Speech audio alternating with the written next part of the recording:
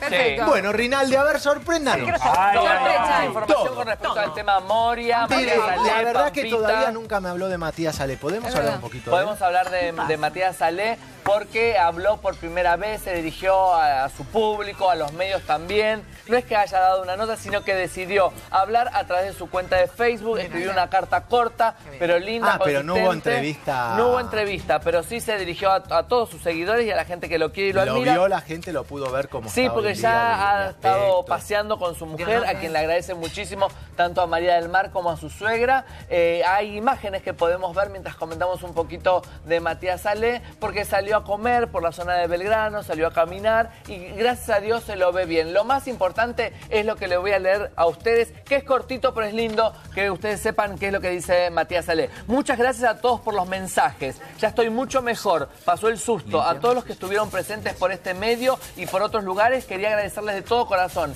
Espero poder leer todos y responder. Se los quiero mucho virtualmente. Les deseo todo lo que ustedes me desearon a mí para mi pronta recuperación. Y en especial agradecer con todo mi amor y corazón a mi mujer María Molar y a su madre Nancy Molar, que estuvieron a cada segundo y en cada detalle. Gracias. Nunca me voy a olvidar de esta experiencia y de cada uno de ustedes. Gran abrazo y nos estamos viendo. Ahí estamos viendo en pantalla lo que les acabo de leer. Lo hizo a través de su cuenta de Facebook y eso está bueno. ¿Sabes por qué? Porque todos seguidores, la ¿Tiene gente que lo quieren, quería saber por boca de él cómo se siente de- después de haber peor ya pasado. pasó. Ya pasó, él, él había tenido una- un ataque, fue el 3 de noviembre, él fue internado en la clínica Abril donde permaneció mucho tiempo, un mes y días, y gracias a Dios hoy se lo ve mejor, recuperándose poco a poco, esto va a llevar un tiempo, pero como todo el mundo que te quiere, te deseamos todo lo mejor, Matías Salé, y va a pasar, bueno, una Navidad junto a sus afectos, que en este momento lo eh, conforman su mujer, María del Mar, y su suegra, porque está medio distanciado de su madre y de su hermano. Vamos con Moria. ¿Qué pasó, afortunadamente, afortunadamente, la jueza Dina Marchuk, que es la que tiene la causa de Moria Kazán, adelantó la fecha de la audiencia. Ellos Bien. tenían una fecha que era el 28 de diciembre. ¿Qué significaba esto? Que tenía que Navidad en la pasar la. Navidad y la previa Año Nuevo en la cárcel El Buen Pastor. Bueno, gracias a Dios la jueza decidió adelantar la audiencia. La audiencia fue hoy por la mañana. Todavía está, está terminando esa audiencia, pero ¿qué decidió? Que eh, la va a liberar, va a salir de la prisión, pero no puede abandonar Paraguay. Es por ese motivo que en un principio se habían alquilado la casa. dónde va a vivir? Sí, va a vivir finalmente no en la casa alquilada, sino en la casa de la abogada paraguaya. Ella, a su vez, no solamente tiene a Stinfola y a, a Stinfale y a Morla, que son los abogados argentinos, sino también tiene abogados paraguayos. Que conocen más Exactamente. la- la Ahí- interna exactamente. Entonces, ella va a vivir en la casa de su abogada paraguaya y esta abogada da la, este, la seguridad de ¿La que se va a quedar. en Paraguay a Moria la gente, sabes? Y un- parte la quiere, la admira y otra parte la Ah, critica por las cosas lados. que ha hecho, exactamente. Claro. ¿A qué hora va a salir, señora? ¿Usted quiere saber a, qué hora ¿a va a salir hora, de la prisión el buen pastor Moria Kazán? ¿A qué hora? Cerca de las 13.30. ¿Por qué? Ah, falta poco. Porque la, dicen que el horario es a las 13, pero ella no es que tenga que juntar las cosas, pero sino que ella, como siempre tiene buena relación con las internas, quiere saludar una por una con todas aquellas chicas con las que ella ha tenido relación. Claro, las compañeras no, compañeras de la celda, porque muchas dicen que tenía como un lugar muy especial, pero viste que unas chicas le hacían el brushing, la otra le arreglaba el pelo, otra la maquillaba. Que la salude a las 12 y que se vaya a la 1. Bueno, pero viste, todo lleva un proceso que viste que tiene que firmar papel y Una todo hora para eso. El tema de la droga, chicos, está absuelta. Bueno. Ah, eso tema se terminó, es el tema de la joya, Porque es una adicción y todo eso. Ahora queda pendiente el tema de la joya. Se retrasó todo, ¿por qué? Porque el del joyero parece que había viajado, que estaba en Argentina, que habían firmado esos papeles los abogados, pero era necesario la firma de él. Así que bueno, así está la situación de Moria. Moria liberada a partir del mediodía, tendrá que permanecer en Paraguay, así que pasará las fiestas de Navidad fuera de la cárcel, que es una Ojalá. buena noticia. Muy bien. Muy bien, Bien, Moria. Mira, ¿Me vas, a dar, quiero. ¿Me vas a dar un segundo? Sí, te voy a Eh, dar un Después me vas a contar, vamos a ver lo de Pampita. De Pampita que es terrible, eh, las imágenes ¿Qué son terribles. Bueno, ahora, Muy ahora me lo vas a contar Dale. todo y demás. Muy bien. ¿Sabes por qué? Porque quiero escuchar a Rinaldi Sí. y lo que tenés de Pampita. Che, ¿qué pasó? Hoy a la mañana me dijiste, vos exagerás. Vos exagerás, No sí. exagero Vos nada. exagerás. No, no, chicos. Pampita, que si bien en el bailando la última noche, antes de la noche, lució fresca, Espléndida. contenta, esple- esa sonrisa dibujada en la cara, la está pasando mal, señora. Y no es mentira, porque tenemos imágenes que ahora vamos a ver en un ratito, donde ella está llorando. Ahí la vemos. Ay. ¿Cómo fue la historia de estas fotografías? Bueno, días atrás eh, fue la fiesta en el colegio donde van los chicos y asistió ella como el resto de los padres y también quien asistió, Benjamín Vicuña. Benjamín Vicuña también participó de la, de la fiesta de fin de año del colegio Y China, se ¿no? llevó, no, no, fue solo y se llevó a uno de los chicos, el chiquito más pequeño. Se lo llevó en Benjamín. brazos, Benjamín, y quedó Pampita. Minutos más tarde sale del colegio Pampita y en la esquina la estaban esperando esas dos amigas que se abrazan, porque claro, mirá cómo está Pampita. Llorando. Participó Pampa, del evento escolar. Esta señora de la izquierda, la señora que tiene el pañuelo, la conozco. Esa señora se llama Margarita, es la peluquera y amiga de Pampita. La otra no la conozco, por eso no la Bueno, nombro. un beso. Pero es de toda la vida. Esa señora es una mujer de confianza, amiga de ella y todo lo demás. Bueno, de mal en peor. ¿Por qué? Oh. De mal en peor, sí, señora. ¿Saben por qué? Porque Cris Morena vio que Cris Morena está por volver. Ay, te- claro. eh, está por volver Cris Morena a producir. Sí, no solamente están haciendo la versión este, de dibujos animados de Floricienta, Sí. ¿te acordás que hizo Florencia Bertotti? sí, Sino que también está produciendo, preproduciendo una ficción para Telefe. Sí. Ella el año pasado dijo que lo quería tener a Benjamín Vicuña y a Nicolás Repeto como actor. Ah, bueno, bueno. ¿a, quién A anunció? a Repeto y Claro. A Repeto y a Vicuña. ¿Y a quién anunció que quiere tener en el elenco como protagonista? A la China Suárez, señora. No, más.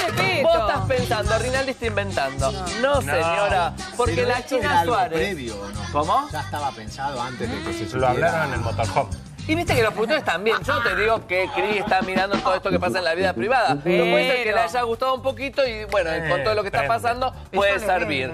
¿Qué dijo? La China Suárez, pues no es que lo estoy inventando, la China Suárez habló al respecto. Dice, me encantaría volver a trabajar con ambos. ¿Con quiénes son? Cris Morena y Benjamín Vicuña. Ay, El ay, ay. proyecto es impresionante. Ya había dicho que no iba a volver a la tele, pero me tienta mucho la idea, lo dijo en un reportaje que lo dio para el Uy. semanario este, La China Suárez. Así que Está señora, eh, Cris Morena quiere a Benjamín Vicuña y a la China. ¿Logrará convencerlos? ¿La China lo aceptará con toda eh, la historia que tuvo con Pampita? Con cuando Pampita Sí. Subió al camarín, al motorhome, los encontró, Y dice que ella estaba desnuda con la frazadita, lo agarró, a él lo agarró a las trompadas, a ella la agarró de los pelos, dice que la China tiene toda la espalda marcada, el cuello, todo eso. No sabemos. Chicos, sartenazo número 4. Sí. Ayer les conté que Maradona estaba nuevamente en el país. Ayer, Sí. antes de ayer les conté que Maradona había vuelto con Rocío Oliva y había expresado su deseo de ver cuanto antes a Dieguito Fernando, Sí, quien sí, es el hijo sí, que sí, tuvo con Verónica Ojeda. Hace mucho que no lo bueno, eh, finalmente se encontraron. Algunos dijeron, bueno, va a ir a Ezeiza este, a verlo, pero no, Pero no, si fue Ezeiza. no está en Mar del Plata. No, bueno, Ah. había ido y ahora volvió. Pero ¿sabes qué? Yo tengo mucho para contarte. Sí, Yo tengo mucho para contarte, pero prefiero que vean un tape, una nota que le hizo el programa El Diario de Mariana a Maradona. Lo vemos. A ver. A ver. A ver. Hola Diego, qué lindo verte con Dieguito. Está igual a vos. Idéntico. Todo Maradona, 100% Maradona. Está divino. Hubo gritos, patearon penales, ¿qué pasó? Pateamos, penales, recorrimos, recorrimos la nueva casa. Eh, ¿Cómo quedó la casa? ¿La acomodaste bien? piscina. Ah, se metieron a la piscina. Sí, no, no, no, estuvo en la piscina tocando el agua. ¿Van a pasar Navidad acá, Diego, en la casa toda reacondicionada? Sí, vamos a pasar la vida acá. Tenía tremendas ganas de. Con Rocío, ¿cómo anda todo? Genial, todo genial. Mandar un beso. Ah, bueno, se lo, se lo doy, se lo doy. Se lo doy ahora, ahora lo voy a ver. Que pases una linda Navidad con toda la familia, Diego. Para vos y para todos los argentinos.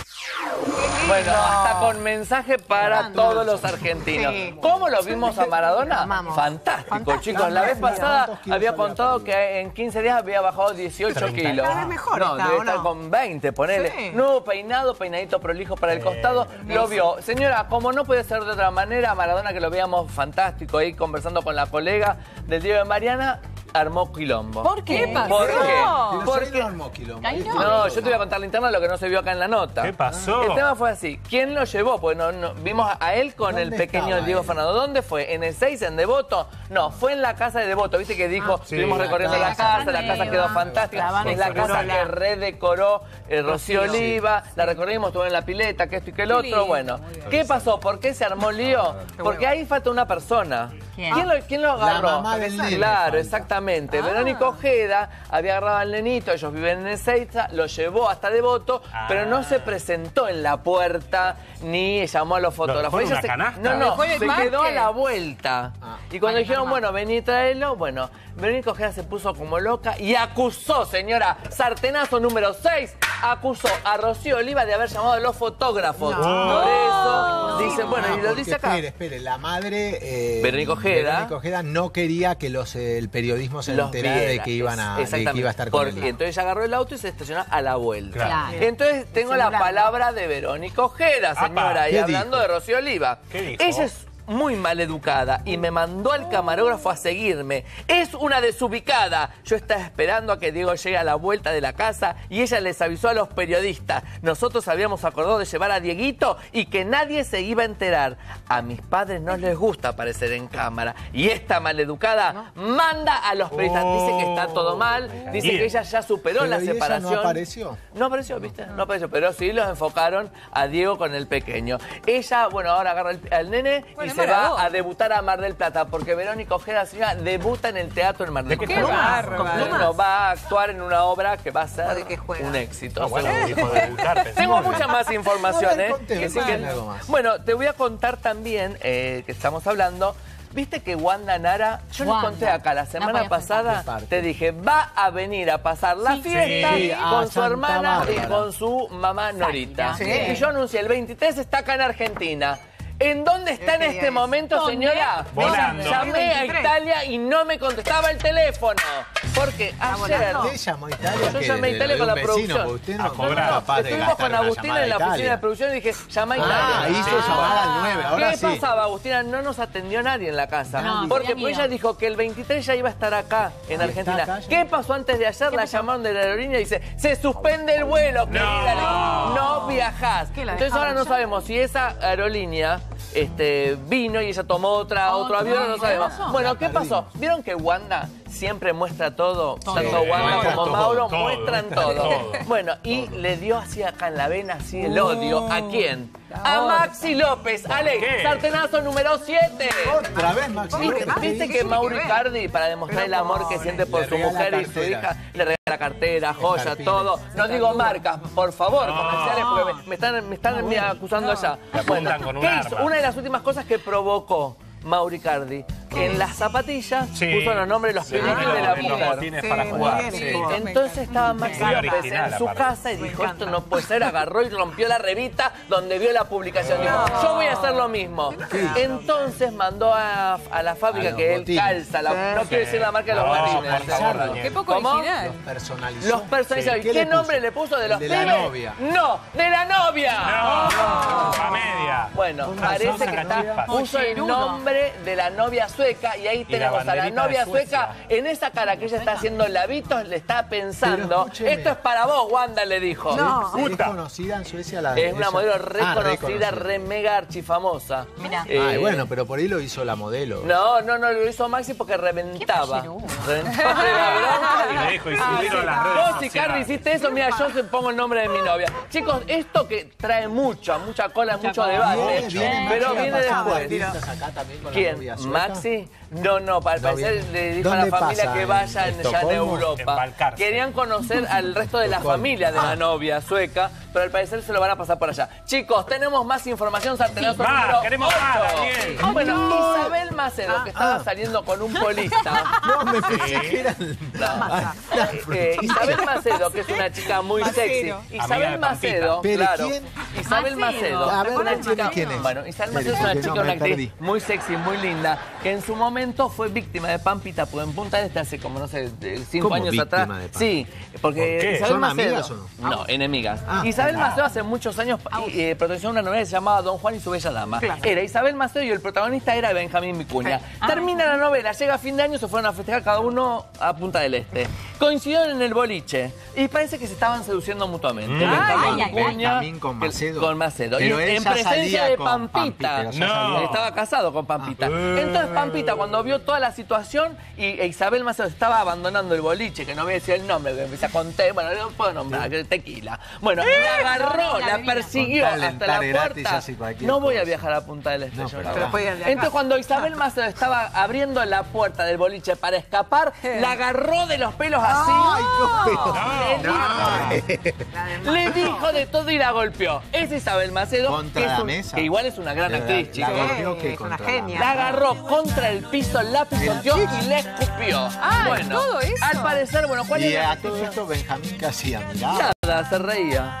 Se reía, a él le Claro, encanta. Bueno, ¿cuál es la noticia de todo esto? lo que te conté para ubicarte. Claro. ¿Cuál es la tiene que ver noticia? Riquelme en todo esto. Y Riquelme, ¿por qué? Porque ahí tenemos la imagen que prueba que el otro día fue, ¿ves que está Isabel Maceo, Riquelme Ah, y la es otra la chica rubia. es Agustina Lecouna, que es actriz, hija de un productor y a su, a su vez es la amiga de toda la vida de Isabel Macedo. Sí. Sí. Bueno, fue al cumpleaños de eh, Agustina Lecouna. ¿Quién fue el- el- la mayor atracción de la fiesta? Riquelme. Riquelme. Todos estábamos todos Todo el mundo hoy dice que están saliendo, que estuvieron a los ¿Quién? arrumacos, a los besos. Con Riquelme Riquelme. con. Riquelme Un trago, dice estamos que contentos. separados, ella está separada del polista Martín. Tazara y otros lo desmienten. El tema es que tenemos la foto que colgó ella misma, ¿en dónde? Muy en bien. Twitter. Y Bien. tengo más, pero voy a seguir más adelante. Muy bien, Perfecto, sí, me agarró No. fuerte. ¿eh? Fuerte. Pero bueno.